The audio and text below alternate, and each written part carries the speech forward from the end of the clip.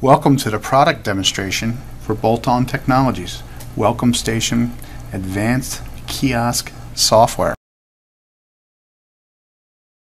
In this video, we will cover the standard settings and configurations for this advanced technology. To begin, tap the continue bar.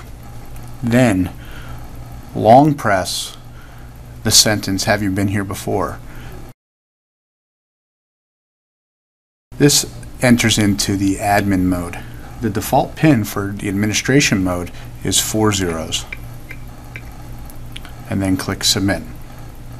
Once inside the settings screen, you will see that we have our database network information, location information, admin access information, and customization. We're going to focus here on the database network info. This information can be supplied from the PC Companion software that is running on your database server PC computer. That application will provide you the IP address and port number that you need in order to confirm that your database is successfully connected.